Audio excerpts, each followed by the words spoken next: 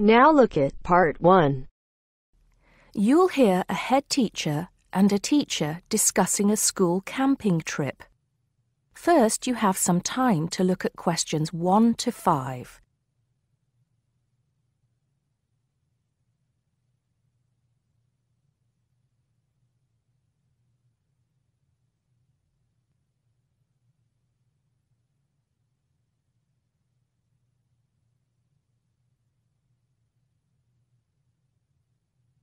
You should answer the questions as you listen because you will not hear the recording a second time.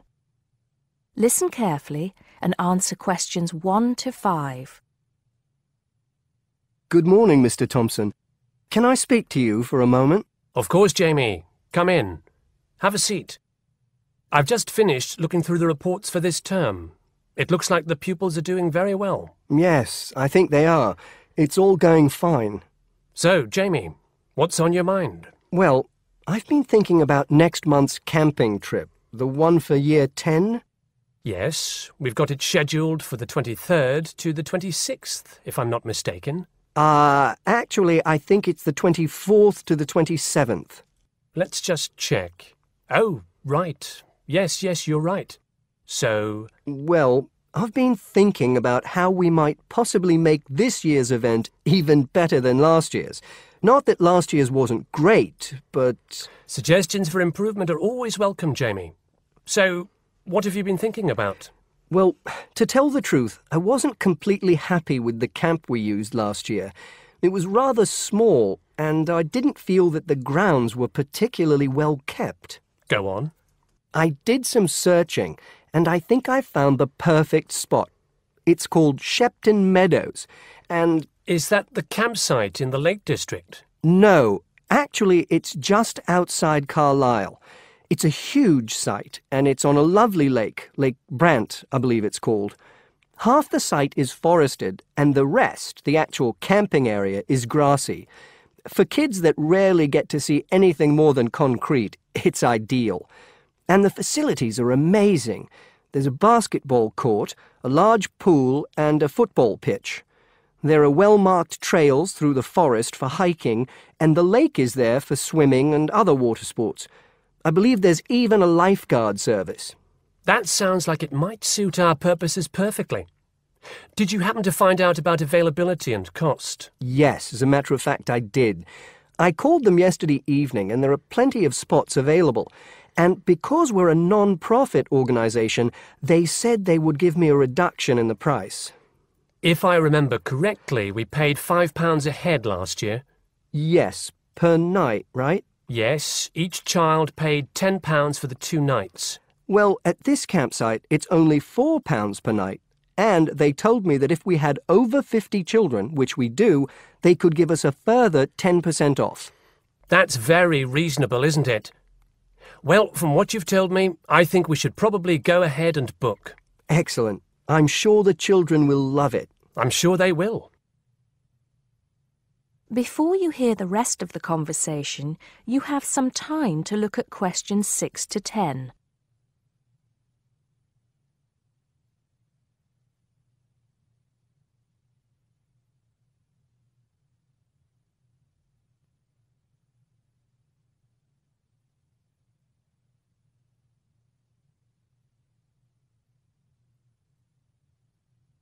Now listen and answer questions 6 to 10. Now, Jamie, have you given any thought to an itinerary by any chance? As a matter of fact, I have. Wait one second. Yes, here it is. I've made a few notes. Okay, so, now, these are just ideas, of course. Yes, yes, go on. Let's hear what you've got. Right. We time it so that we arrive at the camp around 7 on Friday evening. It'll still be light then, and we'll have plenty of time to set up camp and get ourselves settled in. At 8, we could have a barbecue, you know, hamburgers and hot dogs, something that's nice and easy to prepare. And that children love. Yes. Then lights out would be at 9:30 so the children will get a good night's sleep and be up bright and early at 7 on Saturday morning. Breakfast would be at 7:30 an hour's hiking from 8 till 9, and then a couple of hours at the lake. That would take us up to 11. I think that an hour of free time would then be in order. Let them have a chance to explore a bit on their own, you know? Yes, great idea. And then? Let's see, a picnic lunch at 12, and then sports in the afternoon till 4. Another swim until 5, and then supper. After clean-up, around 6.30, we could have a talk-back session where the children get a chance to discuss their day and anything else they might have on their minds. Then a campfire and sing-along at 8, back to the tents at 9.30, and, well, that takes care of Saturday. Excellent, excellent. That would certainly keep them busy. What about Sunday? Sunday, right. As on Saturday, same wake up and breakfast times, and then I thought we could go on a bit of a day trip. There are some caves about an hour's walk from the camp which I thought the children might find interesting. We could leave at eight, which would mean we'd get to the caves at nine. They could explore for a couple of hours, and we'd head back at eleven. Twelve o'clock would see us back at the meadows. An hour's swim, and then lunch at one. Then we could have organised games in the afternoon until supper at five. It would take us an hour to clean up our sites and pack up. We'd be on the buses at six and all set to head back into the city. Well, now, you've certainly put a lot of thought into this, Jamie, and it's paid off. I think it sounds wonderful. I can't think of a thing that needs to be changed. Let's go for it.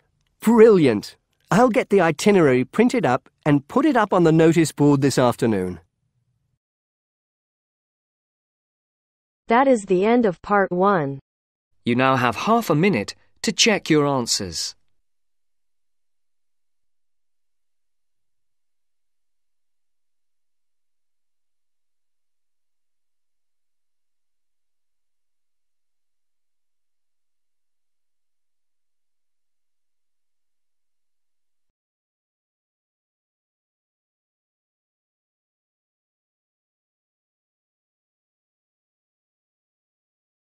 Now turns to part two.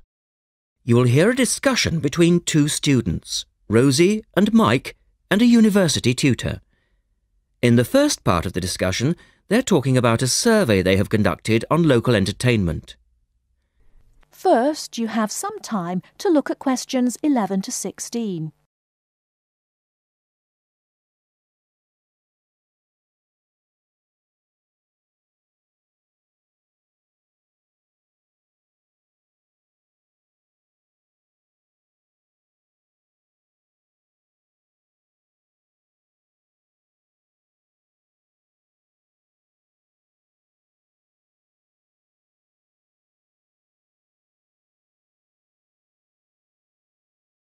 Now, listen carefully and answer questions 11 to 16. Good morning, everyone. Well, I think we can start straight away by getting Rosie and Mike to do their presentation. Would you like to start, Rosie? Yes. Well, um, we've done a survey on local entertainment. Basically, we tried to find out how students feel about the entertainment in the town and how much they use it. Yes, so we've called our project Out and About. Yes, that's a good title. Out and About. We wanted to find out how well students use the entertainment facilities in town, whether they get to see the latest plays, films, that kind of thing. Now, we have our own facilities on campus, of course. Oh, yes. We deliberately omitted those as we really wanted to examine outside entertainment in the town as opposed to on the university campus. Actually, there were a lot of areas to choose from, but in the end, we limited ourselves to looking at three general categories cinema, theatre, and music. Right. OK, well, uh, first of all, cinema. In the town, there are three main places where you can see films. There's the new multi screen cinema complex, the old park cinema, and a late night Odeon. So, if you look at this chart, in terms of audience size, the multi screen complex accounts for 75% of all cinema seats. The park cinema accounts for 20% of seats, and the late night Odeon has just 5% of seats. as you probably know, the complex and the park show all the latest films, while the late night cinema tends to show cult films. So, when we interviewed the students, we thought the complex would be the most popular choice of cinema. But surprisingly, it was the late night Odeon. Yeah, and most students said that if they wanted to see a new film, they waited for it to show at the park because the complex is more expensive and further out of town, so you have to pay more to get there as well. Yes, and that adds to the cost, of course, and detracts from the popularity, evidently. Well, next, we looked at theatres. The results here were interesting because, as you know, there's a, a theatre on campus which is popular, but there's also the stage theatre in town, which is very old and architecturally quite beautiful. And there's the large modern theatre, the Ashtop, that has recently been built. So you just looked at the two theatres in town? Yes, but the thing about the theatres is that there's a whole variety of seat prices. Also, the types of performance vary, so students tend to buy seats at both and like using both for different reasons. And if they want cheap seats at the Ashtop, they can just sit further from the front. What we did find that was very interesting is that there are periods during the year when students seem to go to the theatre and periods when they go to the cinema. And we really think that's to do with budget. If you look at this graph, you can see that um, there's a peak around November, December when they go to the theatre more, and then a period in April, May when neither is particularly popular. And then uh, theatre viewing seems to trail off virtually, while the cinema becomes quite popular in June, July. Hmm. I think you're probably right about your conclusions. In the second part of the discussion, Rosie and Mike talk about different music clubs. Before you hear the rest of the talk, you have some time to look at questions 17 to 20.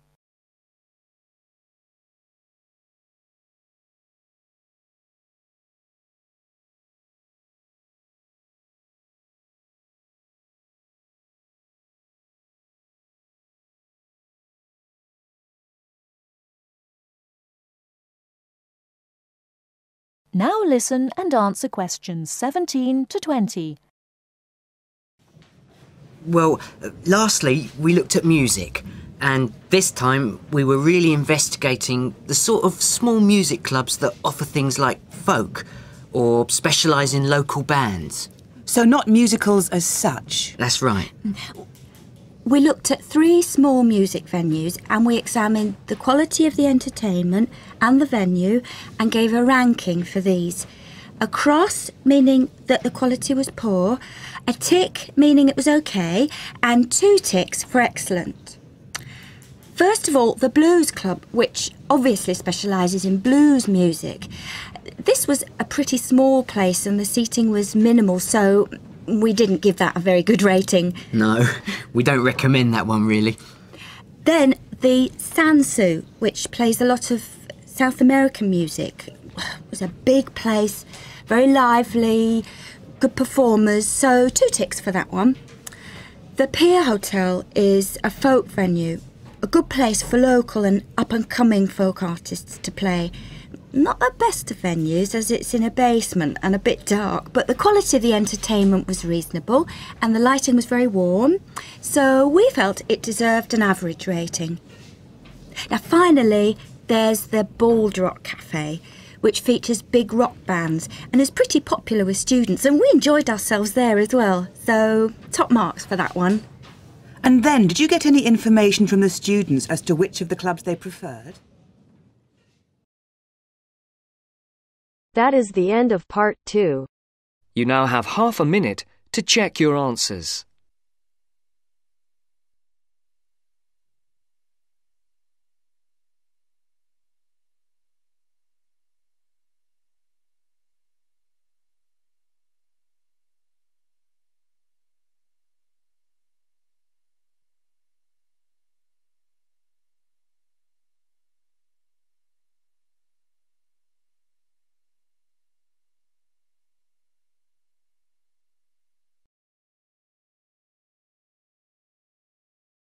Now turns to part 3.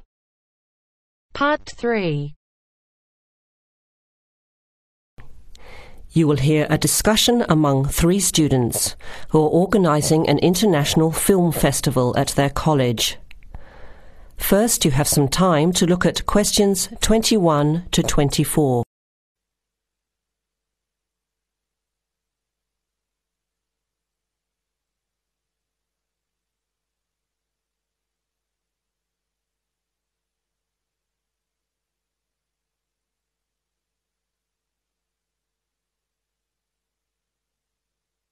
Now listen carefully to the first part of the discussion and answer questions 21 to 24. Thanks for coming to this meeting on such short notice, Anna and Veronica. It looks like we have just become the organising committee for this year's International Film Festival. We've all just met, so perhaps we should start by an introduction with a bit of background from each of us. Okay, I'm Anna. I finished three years of a languages degree in Sweden, where I come from. This year I decided to study overseas to get to know a different part of the world. I'm also a big fan of European cinema, especially French and Italian. Those are the languages I majored in along with English. To me, film is a great way to learn about the rest of the world.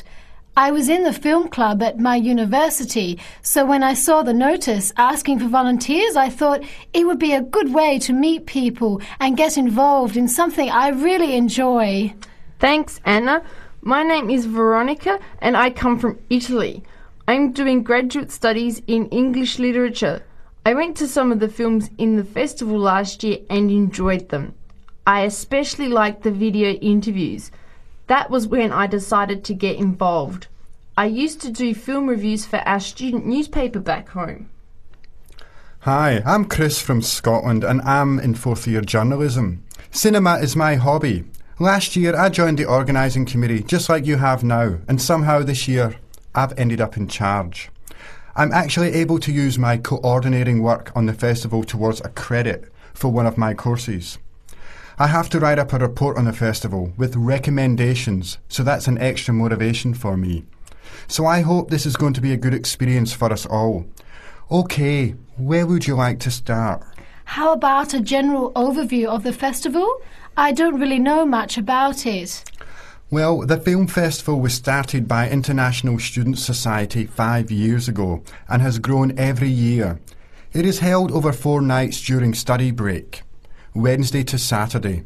Normally, we show three films a night. Last year, we tried to choose films from different parts of the world that fit together in some way, maybe a similar theme. Or we could feature a type of film like action films or science fiction. Now you have some time to look at questions 25 to 30.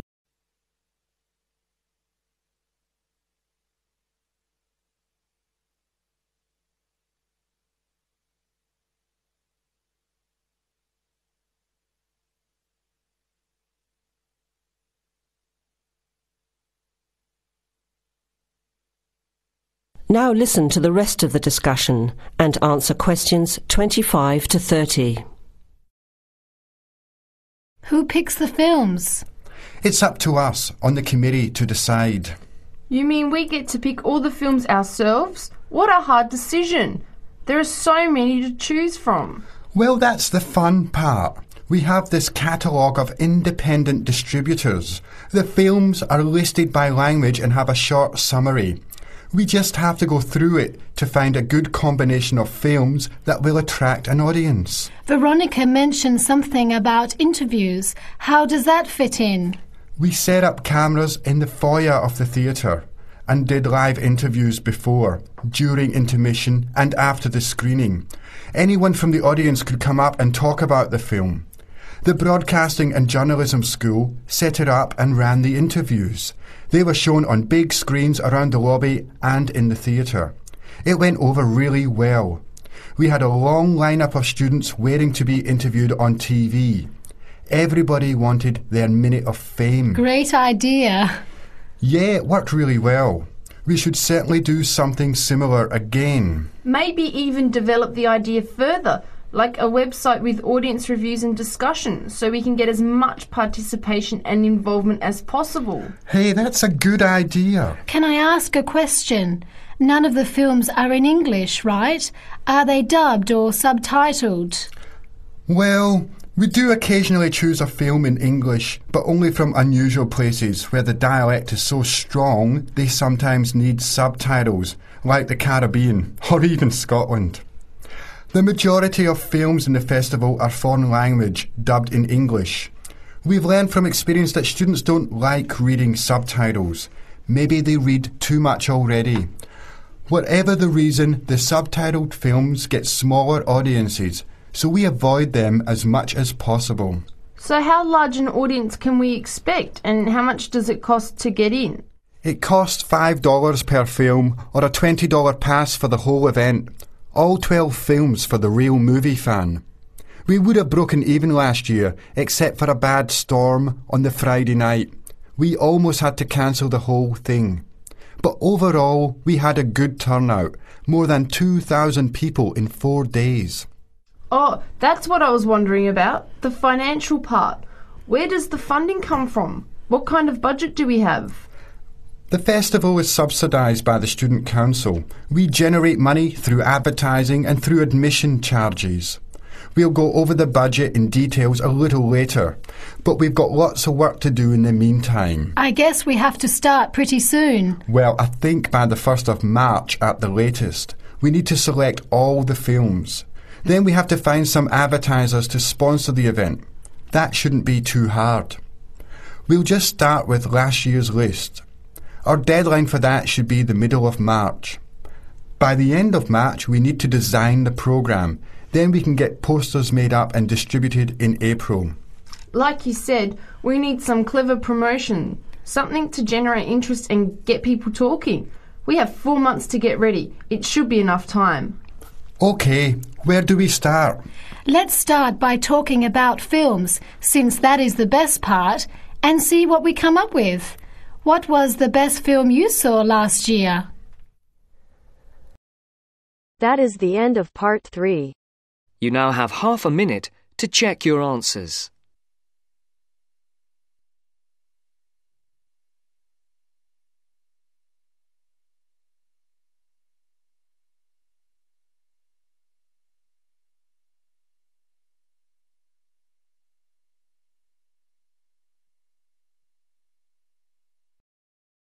Now turns to part four. Part 4. You'll hear a teacher talking about several British art galleries. First, you have some time to look at questions 31 to 33.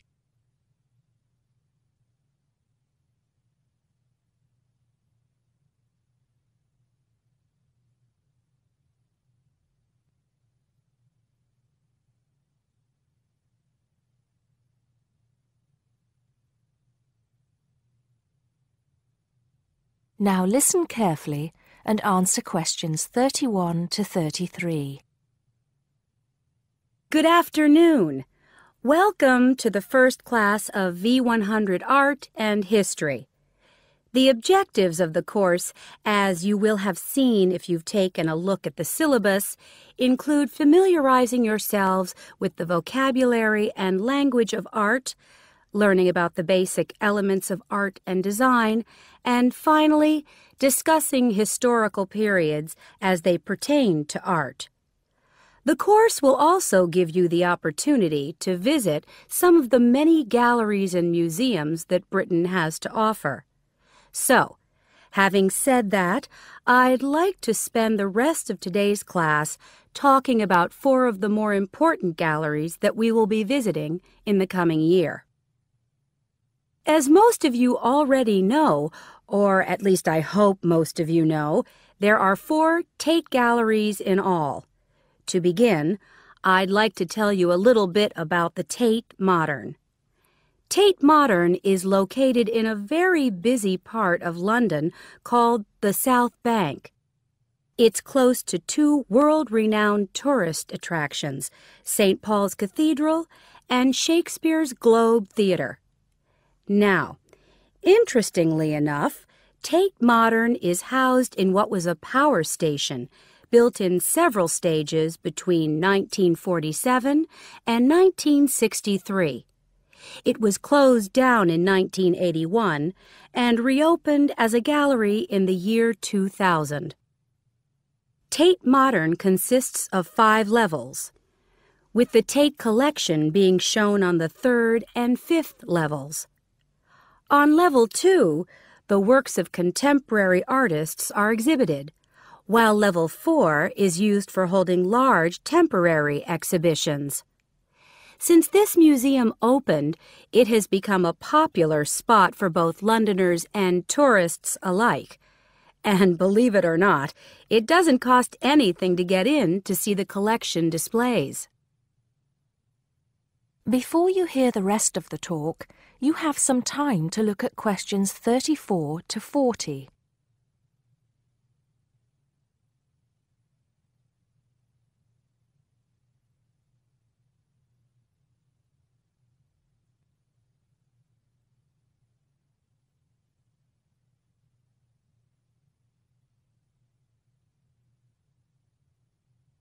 Now listen and answer questions 34 to 40. Now, the second gallery I'd like to talk about is Tate St. Ives, which is in Cornwall. It was built on the site of a gasworks and it overlooks Porthmeor Beach. Tate St. Ives is housed in a three-story building that was designed by the architects Evans and Shalev. It was established in 1993, seven years before Tate Modern was opened, and the gallery exhibits the works of modern British artists, including members of the St. Ives School, a group of artists living and working in the area from the 30s onwards. In later lectures, we'll be looking at the work of some of the artists who belong to that group and the ways in which they influenced each other. Okay. Am I going too fast for any of you? No? Good. Next, I want to talk about Tate Britain, which is a gorgeous gallery situated right in the heart of Westminster. Tate Britain was the first of the four Tate galleries to open, and it was established in 1897. It was built on the site of an old prison, and when it first opened its doors, it was called the National Gallery of British Art. Later, it became known as the Tate Gallery, after the man who founded it, Sir Henry Tate. During its lifetime, Tate Britain has been damaged twice, once by floodwaters from the River Thames, and once by bombings during World War II. This gallery has an interesting range of exhibitions of historic and modern art from 1500 up to the present day. Now, the last gallery I'd like to tell you about is called Tate Liverpool. It's not hard to figure out where this gallery is located, is it? It was opened in 1988 to exhibit displays from the Tate collection and it also has a program of temporary exhibitions. Tate Liverpool is housed in what was once a warehouse, and for some years it was one of the biggest galleries of modern and contemporary art in the UK. Well, that's a brief overview of just a few of the galleries we'll be visiting. I'd like now to look in a little more detail at what you can expect to see in each of these galleries, starting with Tate Britain. That is the end of part four. You now have half a minute to check your answers.